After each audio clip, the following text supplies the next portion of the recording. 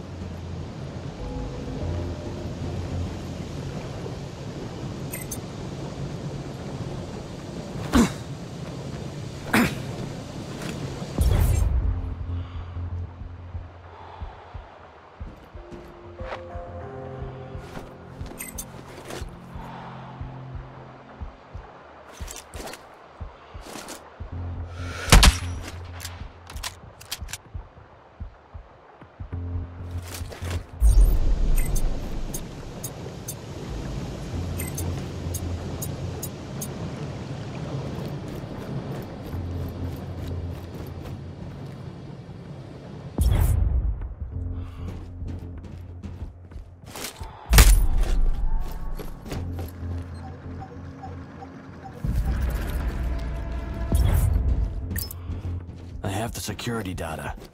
It mentions that Kurchatov will now only appear in public behind bulletproof glass. Valuable information, Seeker. You can exfiltrate now. Check your map.